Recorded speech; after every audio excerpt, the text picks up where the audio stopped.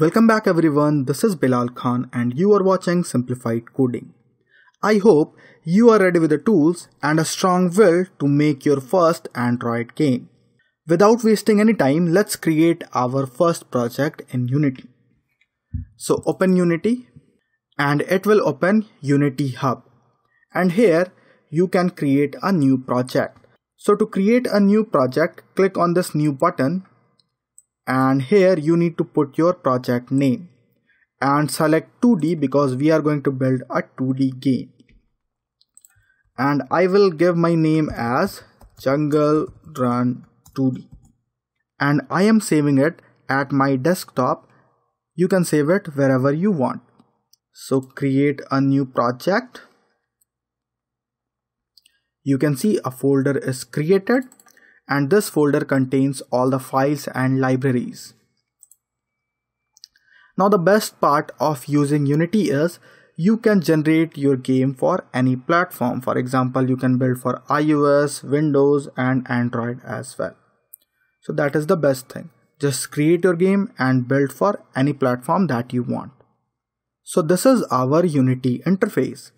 If you are seeing this interface for the first time, then you may think that OMG it is very complex, but trust me guys it is not. You don't need to know all the menus and other stuffs right now. For now, you just need to know about few things. Here you can see we have 5 main sections 1, 2, 3, 4 and 5. This section or window is our scene and for now you can consider a scene as a screen for your application or you can also consider a scene as a level of your game. In this window, we will drag drop the game objects to make the game or game level. Below this window, here we have the output or game window. So when you hit play button, this play button, you will see the output here. Right now we have just a normal blue screen that has nothing and it is actually the current output. Then we have three more windows here 1, 2 and 3. The first one is our hierarchy and hierarchy displays the currently opened scene. In this case the sample scene is the currently opened scene and when you create a new Unity project the sample scene is automatically created and all the scenes are inside the scenes folder. So here you can create as many scenes as you want. Now hierarchy window displays the current scene that is opened and it also displays all the objects that we have inside the scene. After the hierarchy window, we have the project window and it displays our project with all the folders and files. Then we have the inspector window and in this window when we select a game object we see a bunch of properties that you don't need to worry about right now. And I guess this information is enough for now. Because I want to keep everything as simple as possible. Now in our game, the first thing we need is we need the assets that I told you to download in the last video. So I hope you have all the assets. So if you downloaded the folder, the link I have given in the description of the video already. So when you download the assets, you will get this folder and inside this folder we have three folders. Arts that contains all the sprite sheets or images. Then we have fonts and it contains a font that we will use in our game. And then we have sounds that we will use in our game because game contains sounds as well. Now what you need to do is you need to drag all these to your project unity project.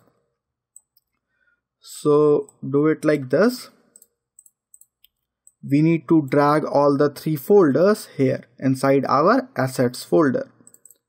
So we will open assets and we will drag all the folders here like this and the unity will import everything. You can see we have arts, fonts and sounds in our unity project. Now if you open art we have a number of images here but for now, we need to care about the player image. And this is actually a sprite sheet. Now, if you don't know what is a sprite sheet, then it is basically an image that contains multiple image. So if you open this image, you can see we have many images inside this image. So we will use this row when our player is idle. This row when the player is running and this row it contains only a single image when the player is jumping. Now we need to get all the individual images or sprites from this sprite sheet and with Unity it is very easy. So select your player image and here change the sprite mode to multiple because we have multiple sprites in this image. Then for the pixel per unit I will write 256 because I want my pixel per unit to 256 and this is basically the grid size of our grid here. Okay, so every grid is 256 by 256. Now apply the changes and then click on sprite editor. And we have the sprite editor here. Here we will go to slice and to the type we will select grid by cell size and every image is of size 256 by 256. So we will write here 256 by 256 for the pixel size. And then we will click slice. You can see all the images are sliced. Now click on apply and you are done. Now when you will click on this arrow you will see all the individual sprites. For now we will drag the sprite to our scene. And you can see we have our player here.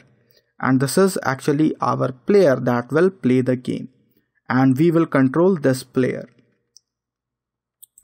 And for now, I will stop this lesson here because we already learned about the Unity interface, we learned how to import sprites. And we learned how to splice the sprite sheet and how to get the image or object to our scene. And you can see one more object is created here which is our player. And if you want to run this application to your device go to file then go to build settings and by default it is selected to PC Mac and Linux. You need to change it to Android and then click switch platform. Once the switch is done you can click on build and run and it will run to your device just save the apk anywhere i will write game as the apk name and then build Make sure your Android device is connected to your computer because it will not work on emulator. You need a real device.